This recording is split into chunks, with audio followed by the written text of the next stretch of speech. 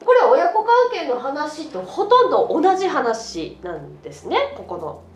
共依存のシチュエーションというのは。親子間で共依存がああったりするからそれを覚えちゃっただけなんだから。まあ親子間だと親っていうものは子っていうものを観察する対象なんですよ。だから木の上に立って見ると。見る。ね観察。見るっていうことです。何を見るの？って言ったら子ってことですけどこれは一つのまあ要は子供っていうのは発生してきて初めていろんな概要素が付加されてって性格っていうものを形成していくわけだけど性格の形成という言い方は本来しないというかどちらかというとまあ人格っていう言い方を人格っていうのはある意味性格的なことも。だからさこれはどういうことが付加されていくかっていうと後天的な学習ってことですね。あのどういうふうにスライドしていくかっていうとここにうー性格や、まあ、人格の形成ここにも発達っていうことがもちろんあるわけですけどつまり脳自体体自体が発達していくんだけどここで起きることっていうのは後天的な学習。いちご目の前に差し出されていちご見るっていうのは一つの経験ですね。でそれを口にあこれを食べるっていうことも経験になるけどその時にうわいちご美味しいもっと食べたいっていう風な感覚になるかあるいはうわ苦手つぶつぶ苦手っていうふうに感じるかというのは個性によるものですけれどもそれに対して個性っていうのはそのどうかっていうのを別に教え込んでないけど感じたりはあの何か内発的に起きたりする感覚。でもその感覚みたいなものが外界と触れることによってあらゆるこう経験を要は次の経験をすることになるわけですよね。そんな酸っぱいなんて言わないで果物体にいいんだから食べなさいって言って食べたくないけど食べるっていう風なことをやる個性と食べたくないものは食べたくないのっていうふうに言うかっていうふうにだんだんこう枝分かれするような感じですよね。個性がだんだん経験を振り分けしてるようなところもあります。だからそこに対してまたさ親の性格っていうものもあるわけだからそのうわー無理やり食べさせられたっていう記憶が肯定的にだんだん残ってて無理やり食べそして食べたら「うわいい子ね」って大きくなるわとかって褒められたらそれでおなんかいい感じになるっていう経験をするか食べたくないものは食べたくないとして食べないでまああなたが食べたくないって仕方はないかねっていう親かでも食べなさいとかっていうふうに 野菜とかなんか特にね食べなさいとかっていうふうに言われるかとかっていうふうにその外界の種類がすごい後天的にいろんな種類が発展してくるわけですよね。だからつまり人格の形成っていうのは個性とつまりその後天的な個性っていうのは先天的なことですから。DNA っていうか先天的足されてその発達も起きてこのように。だからこあのあの子はこんな子とかあの人はこんな人っていうのは例えばこの前親っていうのは原型においその人間の人格形成の原型においてはものすごくその自分の働きかけっていうものがその子供っていう知能の取り込む情報に直接影響を与えているだからどっちもこんなような感じで自分はされるってするんじゃなくてされるっていうことをベーシックにまあ学習回路ができてだいぶモデルがされるされる同士になった人たちが依存体質っていうふうに言ってるわけよね。まあ、ただしその親子の中ではなぜそういうことがよこの親がどういうねあの脳内にまあ自分がここ子供だったわけだからどんな内部モデルを持ってるかね要はこの内部モデルまあ簡単に言うと依存体質つまり素なことと反対なことをやるのを、まあ、依存体質って呼びたいあるいは素直なのかなりで暮らすのかってさてどっちっていうまあどっちかの内部モデルも持ってるわけだな。だとその子の個性とこの後天的なその影響っていうものが加味されて内部モデルはここ綺麗にコピーされることになる。ただしその親が本来依存体質の人は観察してないっていうことが大きいんだな。本来は観察をするんだけれども親の内部モデルすごい。ここすごい大事なんだよな。これ分かってほしいな。だから親だっていろんなまあどっちかの内部モデルをまず持ってる。じゃあ内部モデルの種類を書きますけど親が内部モデルまあ何で暮らしますよっていう活動パターンと依存っていう。両方どっちかで。依存っていうのはまあだから観察するってことではなくコントロールっていう側になります。コントロールっていうのは支配か。非支配かのまあどちらか。っていうか非支配支配されてるって思ってる人は実は支配してるんです。なんかされてるようだけど要は支配された感を出してるってことは支配された感を飴にして飴とムチがあるから飴にしてコントロールしてるっていうことなのよ本当はね。だから実は支配非支配者の正体っていうのは支配者でもあるの。やられたふりを与えるっていうか飴与えちゃうってこと。だから支配者ってのは直接的に無知で打つみたいなこう激しいことを言ったりやったりするみたいな感じだけれども実は非支配者でいるっていうこと自体を飴にして、まあ、コントロールするっていうことだからつまり言いたいことは、まあ、コントロールをするっていうことの世界観になってくるわけだけどだからこれがねすごい垣根なわけですよ。ね？だから親っていうのは本来の在り方はこうなんだけれども実はブブーの ちょっと理想的じゃない世界ではこういうふうなことが起きてて本当にこうよくよくだから結局こっちの世界っていうのはこっちがね無価値観っていう妄想の世界をコピーし合う親子関係これコピーされちゃうっていう世界ね。だからこれはどっちかって妄想の世界ですよ。うちの子は私がいなかったら何もできないのよだってそんな妄想ですよ。だから本当はできるんだけど今のところはそれは未発達だからできませんねと。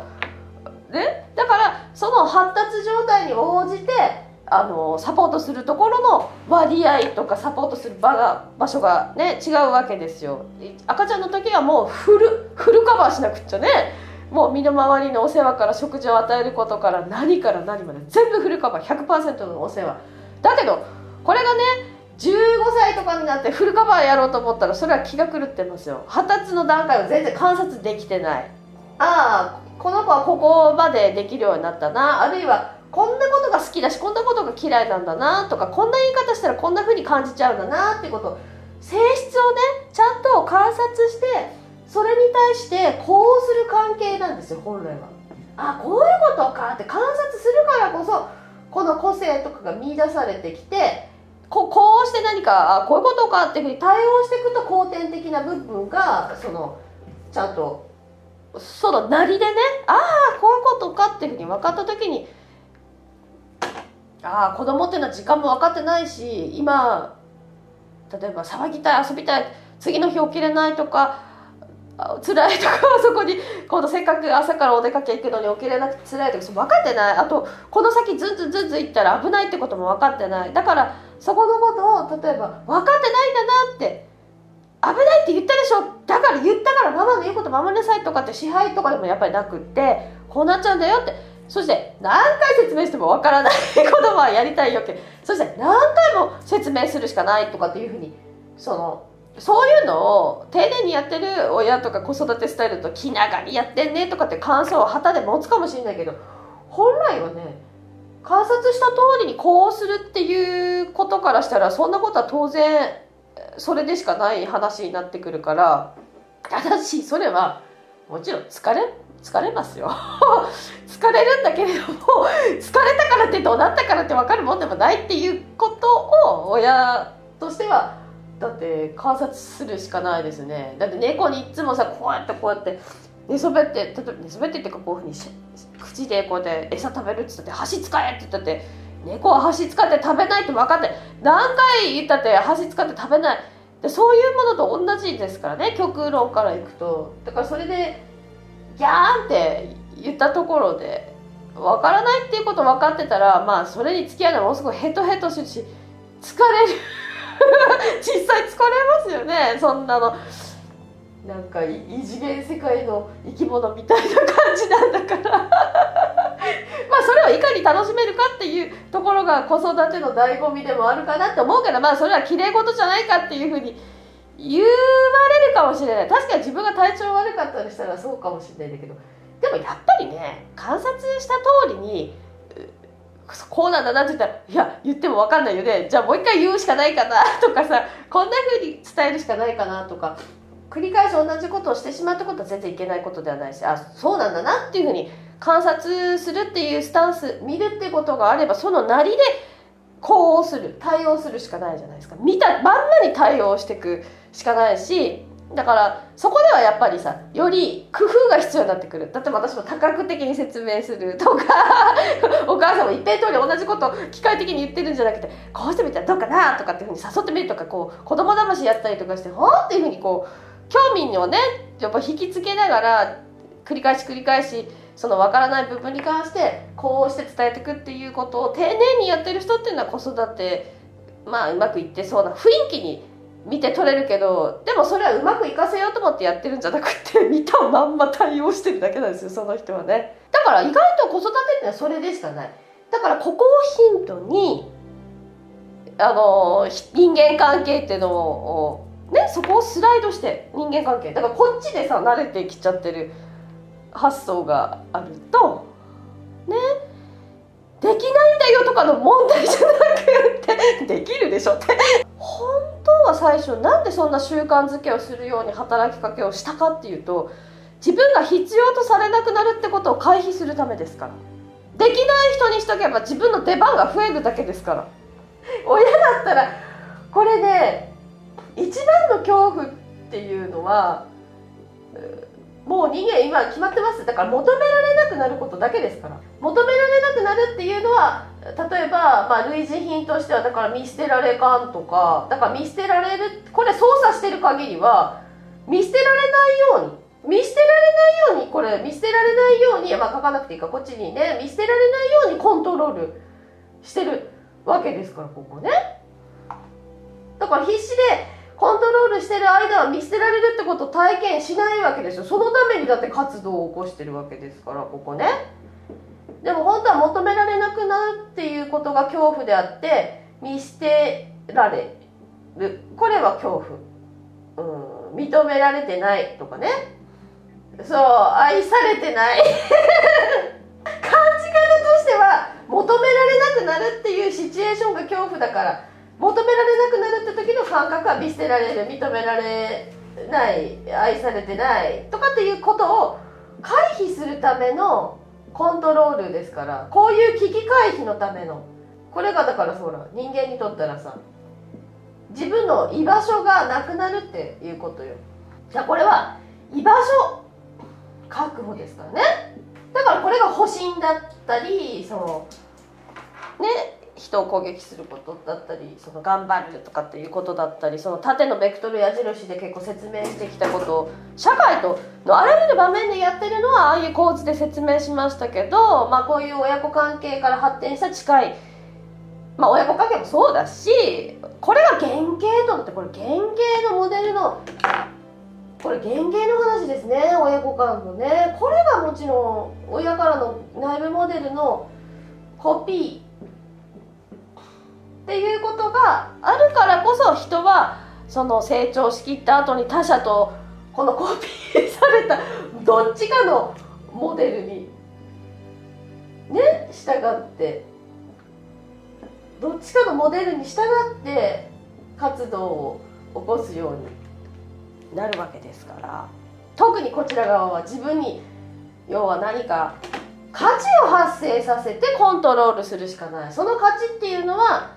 実はこの飴か鞭を与えるってことですよ。飴鞭本来は。価値価値発生させるってことは飴飴を与えるっていうこと。鞭っていうのはもう直接的にもうよしってこっちの言うこと聞けっていうふうにやっちゃうから。も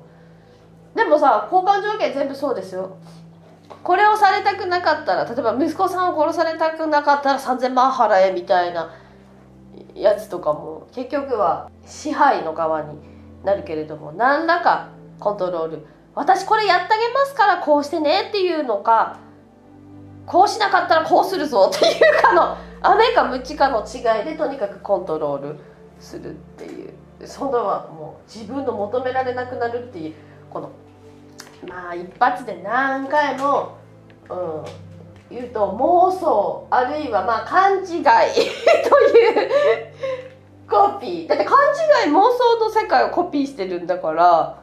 それをベースに人と関わってそして同じ同様のしスタイルの妄想族 の人々と 成り立っちゃうのが共依存ですからね。子供から見ても多分いいお母さんなんですよ。そこが一番過保護の落とし穴で直接的なそのもちろんこう支配的っていうかこれやんなかったらこうするよとか例えばひどい虐待の場合は外に締め出しちゃったりとかなんかすごいひどいことをする。それ過保護の落とし穴っていうのはこんなに大事にされているはずなのにつまりその衣食住もまあちゃんと与えられて何かあれば親が助けてくれるのにそういう人たちはねすごく本音と建前に苦しむんですよ。やっぱりおた親をそんな風な目で疑うっていうのも自分の中で罪悪感になっていくし自分でほらやった失敗して学ぶとか苦心してできたっていう経験をサポートするって親のあり方を体験できないとわからないですね何もあこんなことしたらあの時これやったら失敗したよなっていうのがあの経験となってそしたらこういうふうにやったらうまくいったんだよなっていうふうに自分の中で模索っていうものだから失敗した時に実はさってそれこういうふうにやったらもっとうまくいくかもしれないからやってみみたいなやってあげちゃうんじゃなくてやってみ って言ってそばでやっぱり見守ってて「おおできたじゃんイエーイ!」っていうふうに一緒にその子がやったことを同様にやれたねみたいな感じで一緒に見てるってだから見るだけの係なんですよ。ほんと見るだけ係。縄跳びもさ自分がさ二重跳びできてもしょうがないじゃん。子供ができないと。お母さんやってあげるねあなたの代わりにとかってできない。だから全部が全部本本来そういうことなはずなんですよ。親ができたからって言って何も意味ないことっていうのがいっぱいあるの。だから縄跳びとかにするとそりゃそうだろうと思うけど何でもなんですよ。だから自分の服を畳むことだったり朝起きることだったりお母さんがやっても意味ない。自分が失敗してもやれたっていうでやれない時期も必要だしやれるまでの間の工夫とかっていうその状態がすごくその人の成長っていうことには必要不可欠な要素になってくるからそれを親がサポートするか邪魔するかっていうのはすごく大きなことなんですだから子供は一応体は大きくなって知識はつくんだけれどもなんか自分で生きてる感じがしないっていうのが過保護の落とし穴。だから全然その過保護は虐待だよって私言ってるっていうのはつまり何を基準に虐待っていう言葉を使うかっていうと一人で生きていくスキルっていうものを邪魔してしまうかサポートしてるか邪魔してることをかあの虐待って言ってるんですよ。だからその鞭打って苦しませてくることだってそれは一人でなんかちゃんと賄えるって感覚自体をやっぱり育てないし過保護だって同様に自分でやれるかっていうものを育てないっていうことからしたらそれは自然界では死滅のことなんですよ。死滅しちゃうの。成長しきった人間がまあ人間じゃなくてもいいですよ。だから成虫になったもうとにかく成長して成犬になったまあ動物でも何でもいいですよ。とにかく大人になったっていう状態の時に自分で自分のことを賄いきれないっていうことはもう死滅もう生きていけないっていうことになりますよね。だ基準はそこだけなんですよ。だから一人で生きていけるっていうものをちゃんとそこにやり方なんてあるわけじゃない。一人で生きていけるっていうことに対してそのその子なりの段階があるわけじゃないですか。もちろん運動苦手だったり例えばお勉強も読み書きが苦手だったりでも数字はすごい好きだったりとかその個性に合わせてそのこうなんですみたいな意味のないフォーマットで支配するんじゃなくってその子がどっからのルートでもいいから一人で生きていけるようになるっていうことに日々日々向かっていってそれをああこっから行くんだ彼は こっから行くんだ彼女はっていうところをより見守りながらそれに対してこうするっていうことをやればいいんだからやり方やっぱ決まってない。この個性によっちゃう。どっから行ってもいい。A 得意だったら A から行ってもいいし、うん、身の回りのなんかこういう何か畳んだり用意したりするのが苦手だったらそれがすごく何年間かかってもいいわけよそれは小学校2年生か3年生ぐらいまでパッてできるようになる子もいるし中学校になってからやっとできるようになる子もいるしだからどれだけその子の個性が何を必要としてるか何がちょっとあるいはウィークポイントなのかまあだから時間がかかるのかっていうことですけどねウィークポイントっていうのは。それを親が一番そばで一緒に過ごして見てるわけですから一番そこのあの要は一人で生きていくっていう最終地点に向かって必要な登どっかを登っていくわけですけど そこをさサポートするっていうのはやっぱりその後の子の個性を観察しないとなかなか必要な時に必要な手を差し伸べるあるいは言葉がけをするあるいは今はもう見ないふり。するって。いうあとはもう突き放すとかね。これは彼はもうできるようになったはずだから一人でやってみた方がいい。ね。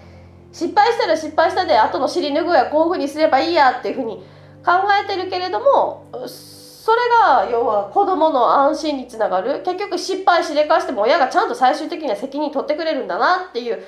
ことを通してだからそれも信頼につながるからあこんな風に助けてくれたりもするんだから迷惑もかけたくないなってかけれないんじゃないですよ。支配されて迷惑かけんじゃねえよって言われたから迷惑かけないんじゃなくって迷惑かけたくないなって思うと徐々に自分が責任取れるところはやるけど責任取れないことは相談してとかこうだんだん自分の力配分に従ってやれるところはやってやれないところは相談してそしてだんだん自分だけでできるっていうところにちゃんといけるっていうことが来る。だからそれは今日お母さんお父さんが死んだらもちろん悲しい。もうもう会えなくなることは悲しいけれども一人では生きていけそうっていう状態にいかに早く早くというかその年齢のマックスその子にとってその年齢値でそのマックスそれがいつもできてできるようになるようにサポートするのが親の務めですよ。だから8歳なら8歳までのその子の個性からくるそのマックスのスキル。10歳なら10歳15歳なら15歳。今日私が死んでもこの子はこの年齢においてマックス一人で生きていく。ここまでのスキルは持ってるなっていうことを。常にそれが私の中ではあの子育てでもう本当に尺尺度があるとすれば今日私が死んだ時この子はここまではできる。この年齢でここまでできたらまあ十分だろうっていうそういうことに関してだけ考えてきましたね。だから無駄にやってあげるなんてそんな逆に恐ろしくできませんよ。こんなこと甘やかしたらこの子できないじゃんっていうことにろくでもないもんになっちゃいますね。うん、そしたらそんな恐ろしくできませんよ。自然界に今放り出されたらこの子はこ できここの部分できますよ。それ死を意味するんですよ。本来だったらね。まあ人間だからそういうこともないっていうのは分かってるけど本来はそういうことですよ。自立っていうことは。だこの発想と感覚から言ったらもうだってできないからかわいそうとかってそれはもう恐ろしい発言ねそう思わない？過保護になるっていうのはだってできないでしょ。だからお母さんやっとくよみたいなやつなんだから。ってことはさあんたもうできるじゃんっていうふうに力を認められてないんだから評価をめちゃめちゃすごく下にされてるっていうことを子供がずっと経験するわけよ。でも最初は確かにそうだよ。親がいなければ何にもできなくって一から全部体の発達も、まあ、知恵をつけることも全部一から親からね得得してくるわけだから最初はお母さんができてお父さんもできて自分はできないからやってもらうっていうのが当たり前の世界だったのにだんだんそれがさこう変わってくるわけよね。できることが増えてってやってもらうことがまあ成長曲線としては減ってくっていうことなわけだから最初はできないことを100%だから世話する。だけどできるようになった部分にはあんたもできるじゃん。逆にやって 朝ごはんママの分も作ってんじゃないけど もうやってっていう。やれるでしょっていう感じ。あまナスにつけとは違いますよ。もうできるでしょっていうこと。だってでやり方を教えてできるでしょっていうことを作っていくのがまあ子育てみたいなもん。でもね例えばない。